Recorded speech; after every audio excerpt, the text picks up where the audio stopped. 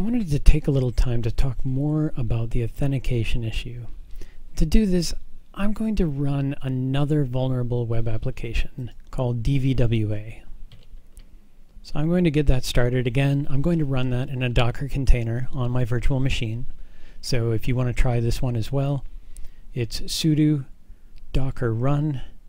I use the dash dash rm flag here to remove it when I'm done.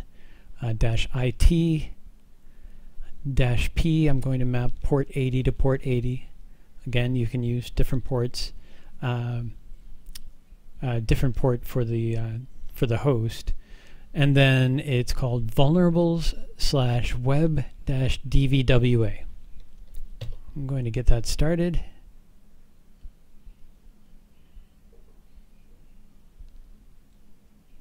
All right, let me open that up in a browser at localhost.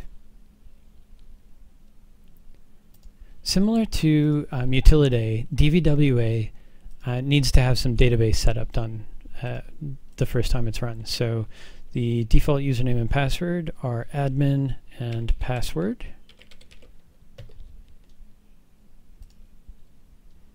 And so now it's asking us to set up the database. I'm going to scroll to the bottom of the page and click create slash reset database. It'll take just a moment, but it should redirect us to the login screen. There we go. Admin password again. And now we're at DVWA, which, yes, stands for Damn Vulnerable Web Application. So, that login screen, uh, let me go back here and log out. Basically, the scanner needs to get through this um, this authentication form, this web-based authentication form, before it can access anything on the site. And this particular form if I inspect element here,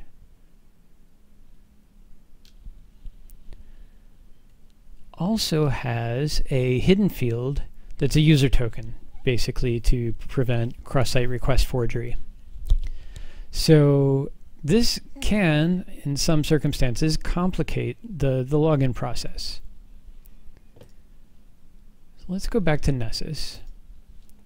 And I previously ran uh, a scan on DVWA without using any credentials. And you'll see it still finds a few things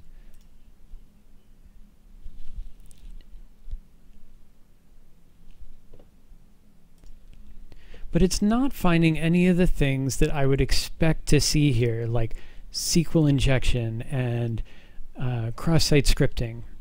So none of those are here. And that's basically because it can't access any of those vulnerabilities. So let me start a new scan template. And again, I'm going to select the Web Application Tests template. I will name this DVWA and use localhost as the target. But before I click Save, I'm going to go to the Credentials tab. I'll select HTTP and it's defaulting here to HTTP login form. And if we used HTTP login form, this is where we would run into problems. We can fill in all this information. We can add admin, password. The login page is actually slash login dot dot php the login submission page. So basically you need the page that it, it sends that form post to. You need to have all of the login parameters as they appear in that particular form when that's submitted. Then you give it another page where it can basically check to see if some text is there indicating that the login was successful. And then you can supply it with a regular expression to uh, look for that particular text on, on the page supplied here. Now the problem with this is basically that user token field, that field that's included to mitigate cross-site request forgery. We're supplying all of the form elements here and we don't know what the value of that token will be while we're filling out the scan template options here.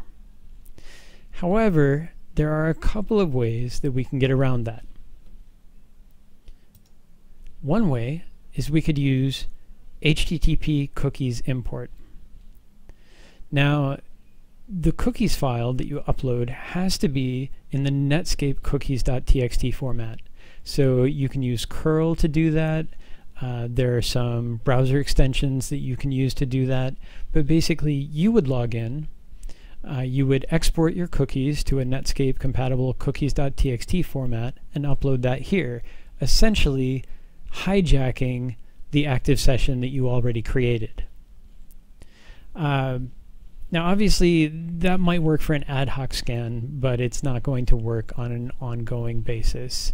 Um, also, one thing I should really point out here is if you do do this, um, or even even if you're doing this with um, even if you're doing this with the HTTP login form, do not use your own user account and don't use uh, an admin user account. Create a separate account for the scanner, a separate non-privileged account for the scanner. I have made this mistake the hard way.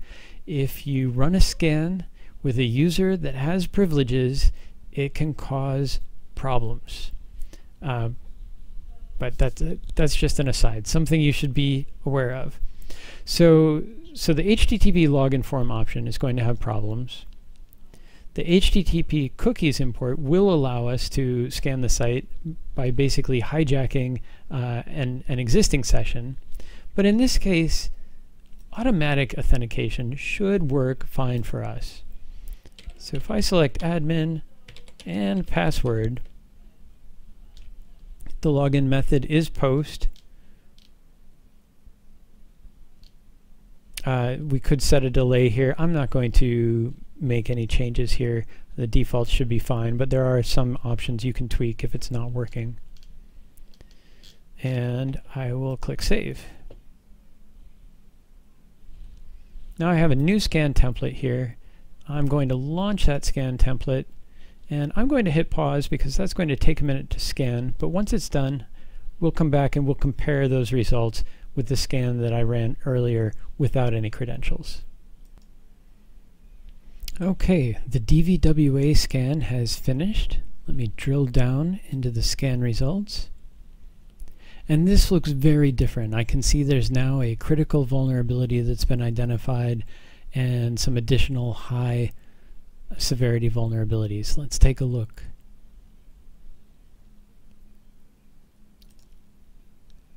Let's see, the PHP issues, it looks like those are mostly due to unsupported versions and vulnerable versions.